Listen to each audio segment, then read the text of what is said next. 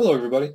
So I um, got some requests on the last video with the terrain painting on um, a couple of follow-ups that I can do to that and uh, one of them was um, like an angle-based painting, you know, kind of slope um, type setup where um, I think it's called an auto material by, you know, people that are actually professionals.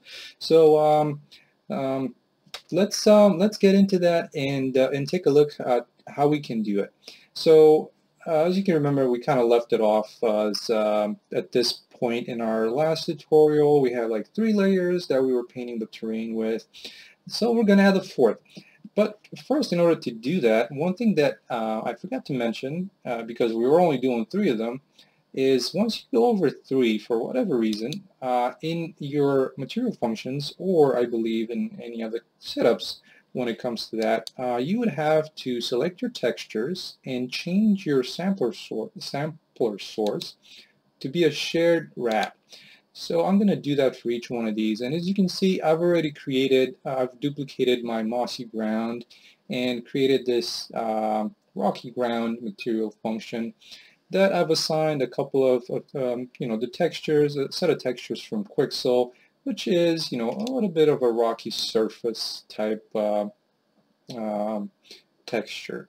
Okay, so we have this one changed to shared wrap. Let's do the other four as well. So shared wrap, and let's save these. And as well, shared wrap and then shared wrap. All right, perfect. So let's make sure that every one of these is saved since I skipped over that one. Okay. Well, so back into our master material, as you can see, we kind of left it off um, at this point um, back in the last tutorial.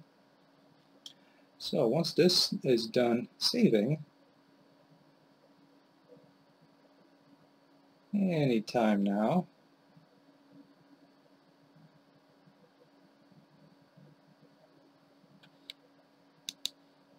hopefully uh, I don't get a crash on my uh, uh, old old PC here. So let's go ahead and um, add our uh, additional layer. So I'm going to duplicate this one here and just place it right there. Let's call it rocky ground.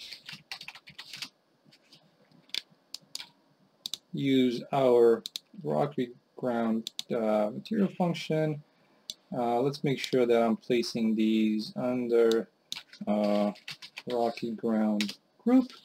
And let's rename them. So we have rocky there.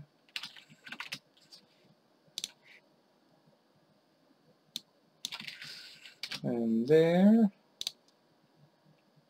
Let's do all of these here. So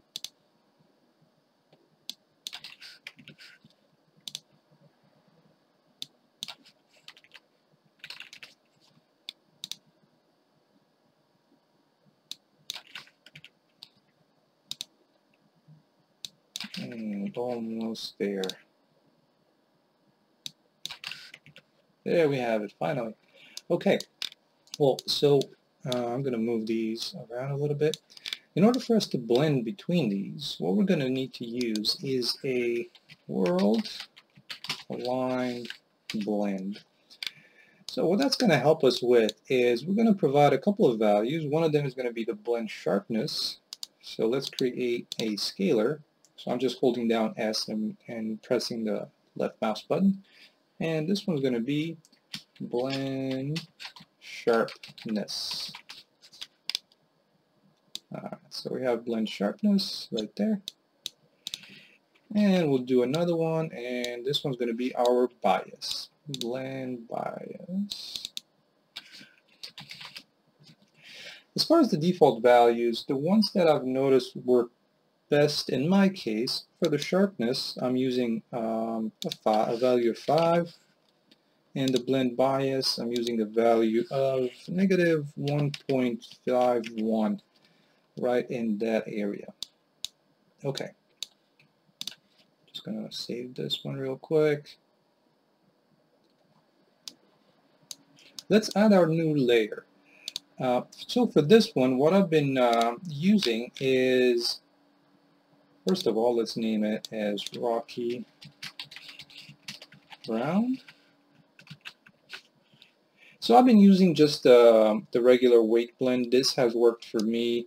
Um, you could potentially try the, the, one of the other options, but um, as you will be able to see, this actually works out pretty nicely. Okay, uh, I believe if you choose the height blend, it might use that in your blending, but um, I haven't tried that yet, uh, so I'm, I can't vouch for it.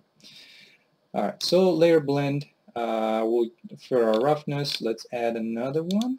And this one is going to be uh, called our rocky ground and then our normal. And let's add that new layer and call it rocky ground. Okay, well, so how are we going to blend between these?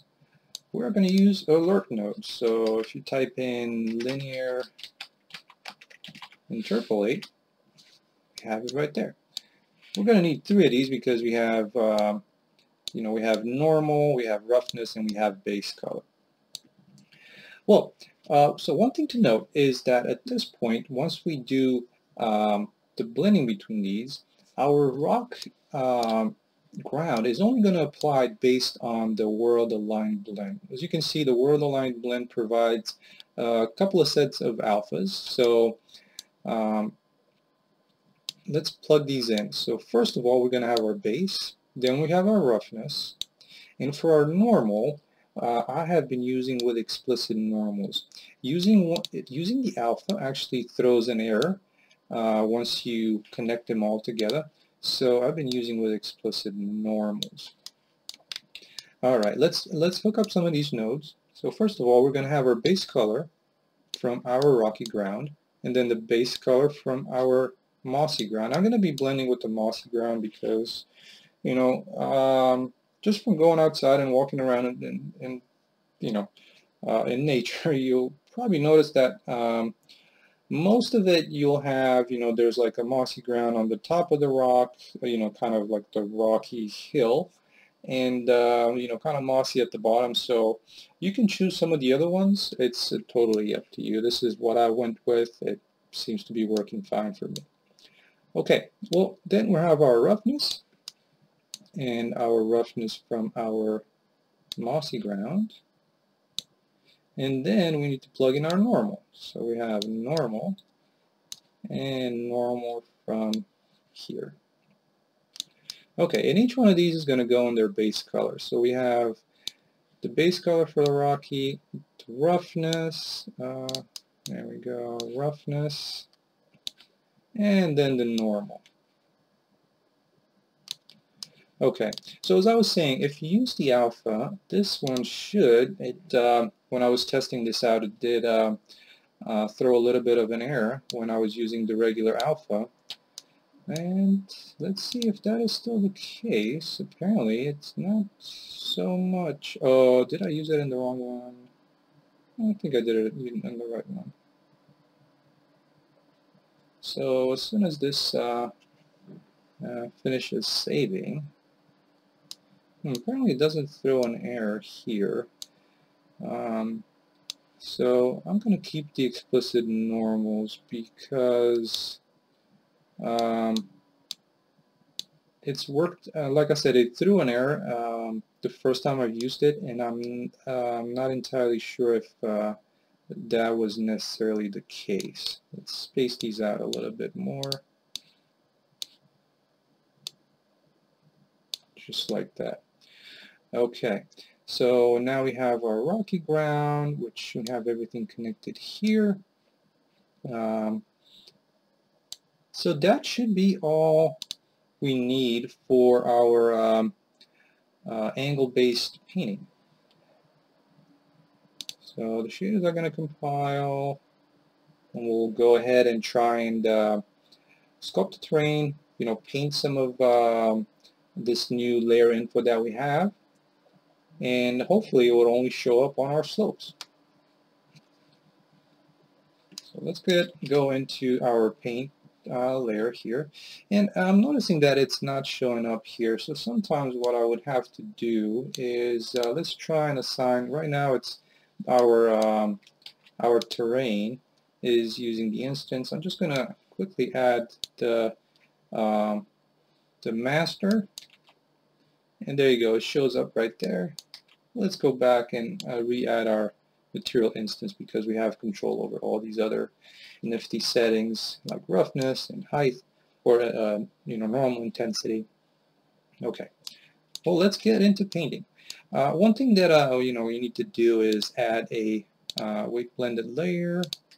So oh, it already exists uh, so in that case let's select it I guess I've already created in um, one of my past attempts at creating this tutorial. Alright, one thing that I do like I, I, uh, I was doing is uh, I was actually using this to fill the layer. And as you can see right now everything is flat. So um, we're not going to get uh, anything as far as the rocky surface until we start sculpting. So let's go ahead and start sculpting. And as you can see it's already there we have our um,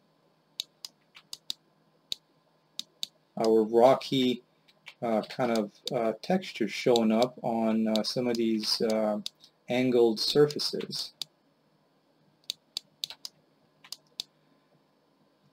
And there we go, we can add a little bit more here to have a better look at it. There you go, I think that's actually pretty interesting. So let's go back into painting.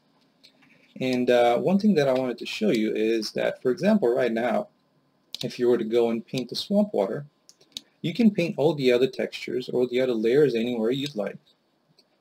But if you were to paint the rocky ground, this would only be painted on that angled surface, which was, uh, as I mentioned, determined by our blend bias and blend sharpness.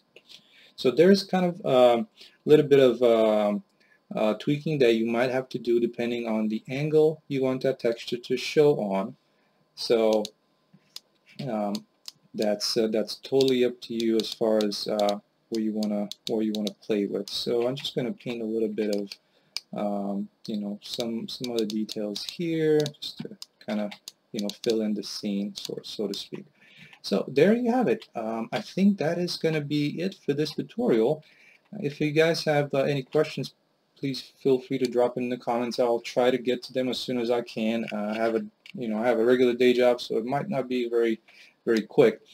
But um, but yeah, hopefully this um, this helps some of you guys out. And um, and like I said, uh, all you needed to, to add is this little blend node in here and the lerp nodes between um, the base colors of the two um, layers that you want to uh, blend based on on the slope.